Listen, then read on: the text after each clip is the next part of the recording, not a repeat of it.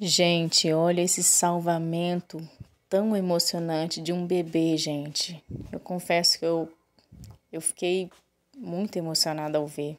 Dá uma olhada. Seu coração vai ficar, ao mesmo tempo que partido por ver essa situação, vai ficar feliz pelo bebê ter sido salvo, com certeza.